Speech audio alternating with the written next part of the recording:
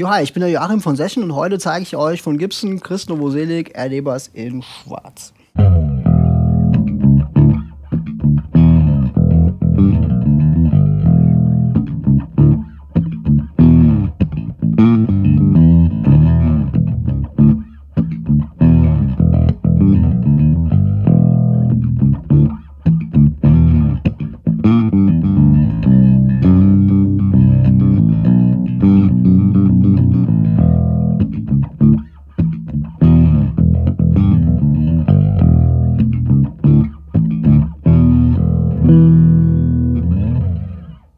Ja, yeah, liebe Leute, ein Signature Bass vom Nirvana-Bassisten habe ich hier am Start. Und zwar folgendes: Der gute Mann hat ja damals wirklich mit die großen Hits geschrieben, der 80er, der Grunge-Zeit irgendwie. Und da gibt es jetzt von Gibson einen Signature-Bass. Und den haben wir jetzt hier in der Hand. Wirklich tolles, gelungenes Teil. Ich zeige euch jetzt direkt mal die Specs. Vielleicht kommt die Kamera mal ein bisschen näher. Und zwar, wir haben es zu tun mit einer Konstruktion komplett Ahorn. Das heißt, Hals, Body komplett Ahorn. Hat ein bisschen höheres Gewicht, das gute Stück, aber der soll ja auch ein gewisses Pfund liefern. Deswegen macht es auch Sinn, einfach mal das so zu konstruieren. Ähm, Schaltung, wir haben es hier zu tun mit Simon Duncan Pickups. Und zwar die Hotstacks haben wir hier zweimal eingebaut. Jeder Tonabnehmer hat seinen eigenen Lautstärkenregler. Das heißt, man kann beide parallel laufen lassen, man kann ein bisschen mixen. Das zeige ich euch aber gleich im Einzelnen nochmal. Und für die Summe haben wir dann einen Tonregler für die Höhen, für die Bässe. Die Brücke Dreipunkt aufgehängt, lässt sich hier wunderbar justieren. Die Seiten werden durch den Body durchgezogen, sorgt für eine Menge Sustain, für eine Menge Pfund. Das ganze Ding resoniert und pumpt natürlich entsprechend. Und dadurch hat das ganze Teil einfach auch ein bisschen mehr Unterton, ein bisschen mehr Pfund untenrum.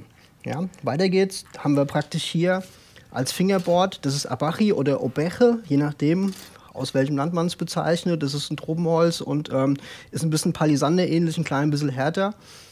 Weiter geht's die Kopfplatte. Da haben wir auch gleich hier den Schriftzug, Gibson-Schriftzug und hier die Unterschrift. Ähm, ich drehe das Teil jetzt mal um. Da seht ihr die Mechaniken, offene, gekapselte, also offene, nicht gekapselte Mechaniken. Halsprofil würde ich eher mal ein bisschen als rund bezeichnen, liegt ganz gut in der Hand das Teil. Irgendwie ist nicht sehr breit hier oben und man hat praktisch auf allen Bünden bis hier unten ein tolles Spielgefühl. Ja, ich sage euch jetzt gleich noch mal ein paar Sachen, was passiert, wenn man an den Tonabnehmern rumschraubt.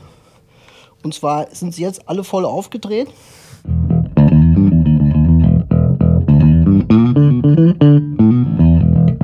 Ich habe ein bisschen das Gefühl, fast schon ein bisschen Prezi-mäßig, obwohl Single Coil sind, oh Schande. Aber ähm, der hat schon so ein richtiges Pfund unten rum.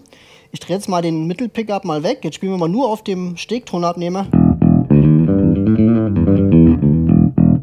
Und schon hat der Bass praktisch so diesen typischen knurrenden, wieder leichten Jazzbass-mäßigen Ton.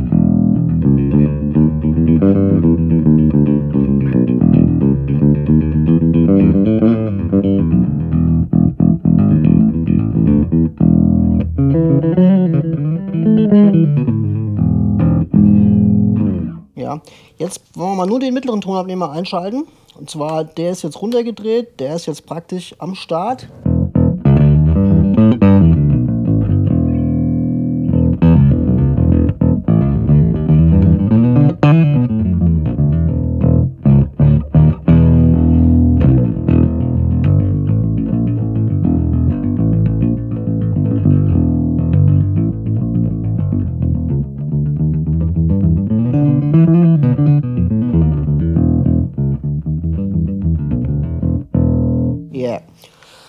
Wundert euch nicht, wenn ich die ganze Zeit mit dem Pick spiele. Das ist nun mal kein Bass zum Slappen. Was für eine Schande wäre das denn? Ähm, der gehört eigentlich ein bisschen tiefer runter ans Knie und dann gehört dann Pick in die Hand und dann kann man den Teil ordentlich rocken.